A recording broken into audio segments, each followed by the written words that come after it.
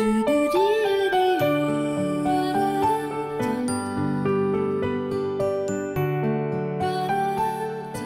度唔係日本，而係中國嘅貴州筆節。每年春天呢片櫻桃花海都會吸引唔少遊客。農民之後亦都將收获嘅櫻桃出售，賣得唔錯嘅價錢。幾十年前呢度幾乎係光秃秃一片。貴州地處喀斯特地貌，石漠化嚴重，村民喺貧瘠土地上耕田，但係生產力低，環境亦都快速惡化。一九九九年，國家啟動退耕還林政策。開始嘅時候，有農民質疑農田已經少啦，仲改嚟種樹，唔通大家食樹皮？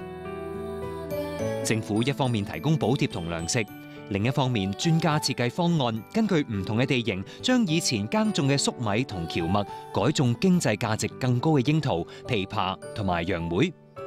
幾年之後，環境同農民生活都得到咗改善。好似筆節嘅古勝村，植被覆蓋率由一成幾增加到九成，人均收入亦都由千幾蚊人民幣大增到一萬蚊。退耕還林政策顧及咗發展同保育嘅需要，实施二十年，总面积超过五亿亩。